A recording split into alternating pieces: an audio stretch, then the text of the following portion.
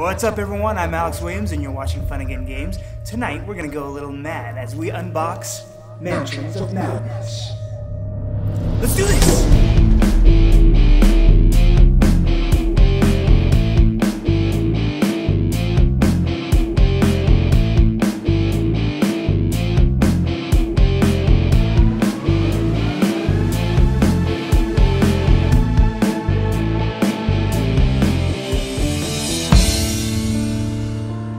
Feeling of dread has fallen over me. The powers at work stretch further than I had imagined. I fear not only for myself, but for the entire world. I know now that a malign force is gathering and must be stopped. What I don't know is how.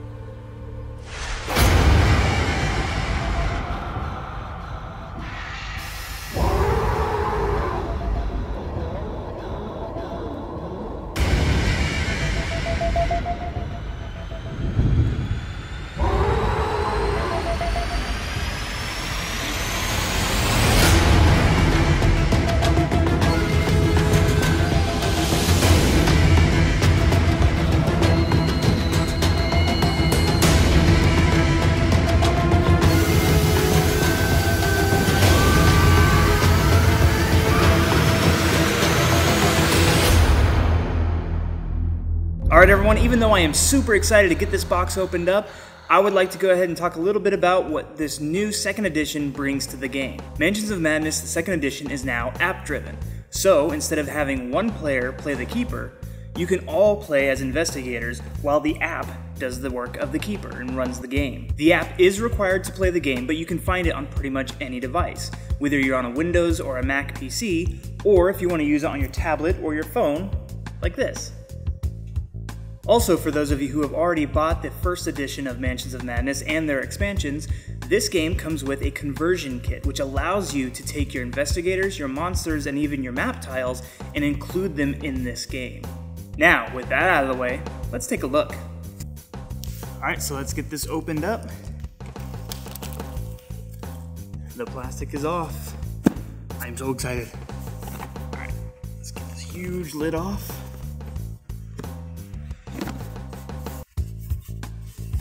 Is. First thing we see is a slip of paper that says stop. What it's telling you is that you need the companion up to play this game. You need it. Alright, we have our instructions, which they say you will need to read all of this before you play your first game and get a really good idea of how to play. Really great graphics in it. It's not all just words. Fantasy Flight always does a really good job of explaining rules. So the rules reference is what you'll use when anything comes up that you know wasn't really in the instruction booklet. All right, now we're getting down to the game. Oh my goodness, there's a lot of chipboard here. Lots of chipboard. We have lots of tiles. We'll open that here in a minute, but as you can see, just like most of the uh, the Arkham games, you can have quite a few pieces. all right, we've got what looks like our character cards here. We'll get a closer look at all these components, but box this guy. Our smaller cards, a couple of decks of our smaller cards. So this is our conversion kit. So this is what we were talking about as far as if you have the uh, first edition, this will make it so that you can play with your first edition characters, your investigators, your monsters, and your tiles. All right, getting down to it, we've got our dice, our action dice. These will be used to do our skill checks in the game. And it looks like all the rest of what we have are miniatures. So we've got our investigators right here. And we'll open that here in a bit. And we've got our monsters. I am so excited to open this thing up and see just what our monsters look like. And of course, all of our bases for our monsters. That's it for what's inside the box. Let's uh, take a closer look at some of these components. First of all, we have 24 map tiles that includes the uh, large square ones and the rectangular ones. We have a stack of both. These are all double-sided with completely different images on either side. Great artwork, really sets the mood. I'm very excited to see all the different uh, different scenarios, different maps that we get to build. Just a ton of gorgeous looking tiles. That's our 24 map tiles. We have 16 Explore Site tokens. These tokens have Explore symbol on one side and the Site symbol on the other. Another double-sided tie that we have are the Search Interact tiles. You have your, oops, your Search on one side, your Interact on the other. And there are 16 of those as well. Next comes a staple in the Arkham horror games, the clue tokens. There are 26 of those in the game. We have 22 person tokens. Some of them are just uh, silhouettes. And then we also have actual art on some of them with their names on the back. And there are 22 of those. Next, we have 24 monster tokens. Now, these will all have matching figures in the game as well, because these will be put in the bases of those figures. Next, we have four barricade tokens. Two different types of barricades, one on each side of the four tiles. And we have four secret passage tokens. Again, two different types of, oh, four different types of secret passages. We now have 18 fire and darkness tiles. You got fire on one side, that will affect gameplay, and darkness on the other side, which will also affect gameplay. We have six ID tokens, each with a different colored rune on them. We have eight wall tokens.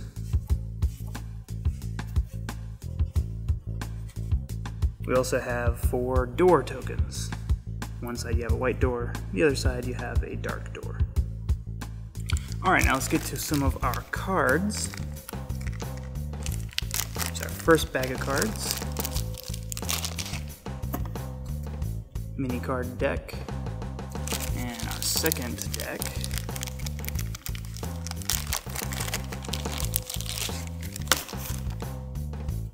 I'm gonna split these up real quick.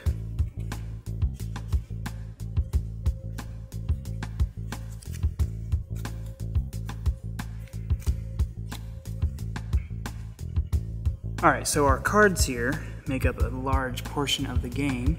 These are your condition cards. They'll have the tentacles on the back, unless it's an insane condition card, in which case it has uh, some wording on the back that you'll keep secret from other people if you get the insane condition card. These conditions change how your character will play in the game. Very cool. You'll have 37 of those. You'll also have 30 spell cards. These spell cards will always have words on the back that will help explain what the spell does. 40 common items Again, most of these will have a satchel on the back, but a lot of them, or some of them, will have words to further explain how they work. And we have 24 unique item cards. These unique items will only come by once in a great while. They usually have a lock on the back. Now these two are how you will track your sanity and health in Mansions of Madness. You've got your 40 horror cards, which, when taken, will damage your sanity. And on the back, will do either instant or lasting effects based on what just happened to you. And the same with your health. These are how you'll take damage to your health. Sometimes you'll have to pull them face up and it'll give you either an instant or a lasting effect. These are our investigator cards. And just like the monsters tiles, these will have matching uh, miniatures in the game. You have eight investigators to choose from, and they all have a bit of their story on the back. One, one thing that Fantasy Flight is really good at with these Arkham stories, with these Arkham games, to, to put a great story along with it. These are the only dice in the game, and they will be used for all of your skill checks and some of your damage checks and things like that. They only have three symbols. It's black, or blank, an investigation symbol, or an elder sign. Let's get down to it. For our monsters, we're gonna have this big bag of bases. As you can tell, some of these monsters are gonna require some bigger bases, some will require smaller ones, and some will have slightly medium ones. Here, big bag of monsters. We will have 24 of these, just like we have 24 monster tiles. We have 24 monster figures. And before we put these guys on their bases, let's go ahead and take a look at our investigators as well. We have our eight investigators, again, eight investigators that match our eight investigator cards. And these guys already have their own bases, so there's no assembly required. You just stand them up and go. Alright, time to get a little bit closer look at our monsters for the game. We've got six priests. We've got our four deep ones. We have four deep one hybrids. We have two ghosts, two hunting horrors, two riots with three figures each, one child of Dagon, one priest of Dagon, and finally, our big guys, the Star Spawn. Wouldn't want to meet these guys in a dark mansion. Also, let's get a slightly closer look at our investigators. All the different characters you could be. Alright, one more quick thing is we're to look through at this uh, conversion kit. For those of you that own the original Mansions of Madness, this is to be your gateway into including your investigators, your tiles, and your monsters in this edition of the game. This little instruction booklet will tell you uh, how to implement them. But you've got investigator cards, also, you have new monster tiles for all of your original monsters.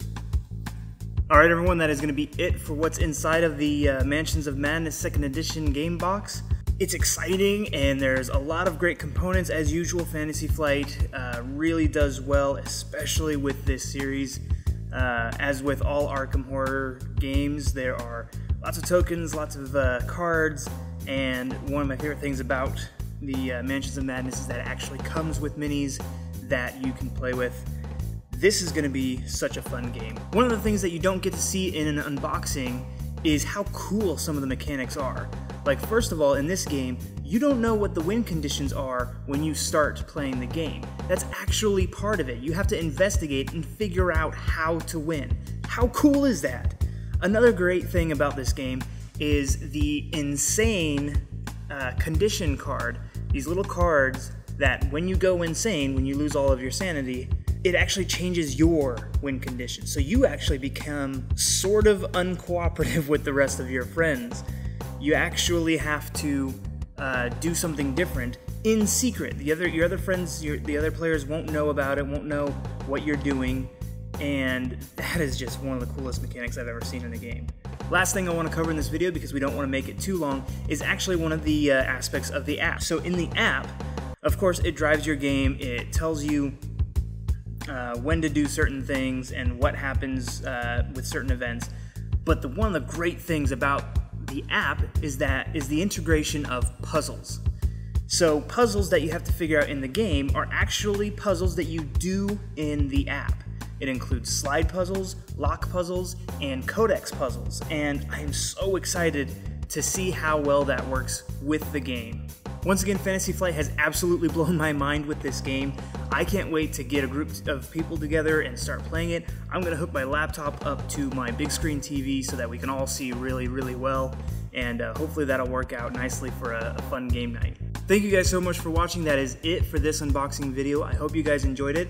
This is a game I would love to do more videos on, so if you would like to see a how to play video, or maybe just some clarification on rules, let me know and I'll see what we can do. Remember that Mansions of Madness, the second edition from Fantasy Flight, is available at funagain.com. If you have any questions or comments about Mansions of Madness or about Funagain games, please leave them in the comments below or send us an email at cs underscore general at funagain.com. Don't forget that we are all over social media. Please go follow us on Facebook, follow us on Twitter, follow us on Instagram, and subscribe to us here on YouTube so you can get more unboxing videos, more how to play videos, and more weekly updates. Thanks for watching.